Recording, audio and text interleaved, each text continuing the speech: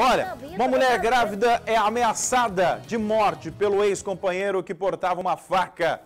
Olha, Olha. só que é o que tudo indica, ele tomou na tarraqueta. Vamos ver. Olá, boa noite, Rude, boa noite a todos que acompanham Pulseira de Prata. Olha, de acordo com a ocorrência, a Polícia Militar foi acionada por volta das 23 horas e 40 minutos de ontem a compareceram à residência no bairro Jardim Carina, onde, segundo a denúncia, um homem estava ameaçando a ex-companheira de morte. Ao chegar no local, os policiais depararam com o autor, o homem de 29 anos, no interior do imóvel, o qual ofereceu resistência ao ser abordado. No entanto, foi usado ali, utilizado as técnicas policiais, momento que ele foi é, contido, imobilizado e algemado.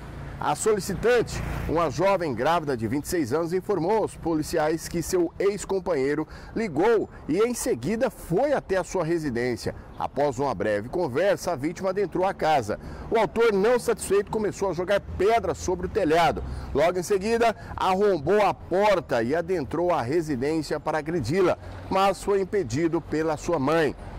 Os policiais presenciaram o autor proferir graves ameaças de morte contra a jovem.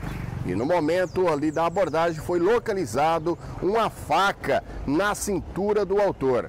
O homem de 29 anos foi preso em flagrante e foi levado para a delegacia de polícia civil e responderá pelos crimes de violação de domicílio qualificado, ameaça e danos circunstanciados por violência doméstica. Vai se entender com a justiça. Agora, segundo a polícia, já é uma figurinha carimbada, não é a primeira vez que é autuado ou que é preso por esse mesmo tipo de é, crime, de cometer aí agressão contra a mulher.